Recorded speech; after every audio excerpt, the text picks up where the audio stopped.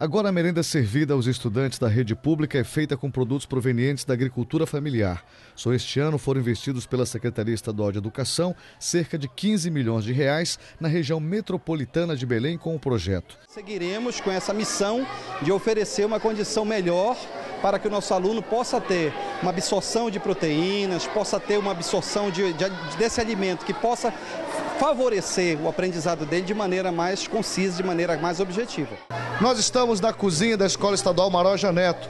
Aqui, frango in natura que nós vamos mostrar para vocês, é frango in natura mesmo. Frango que foi abatido recentemente, que agora está aqui no prato da merenda escolar.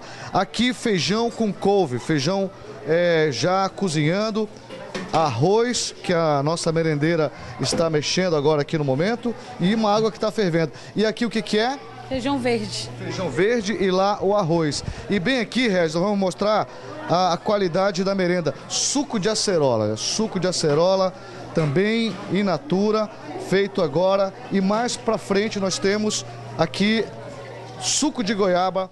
E uma alimentação balanceada, nutritiva, né? ou seja, uma alimentação saudável, ela é muito importante para a clientela da alimentação escolar.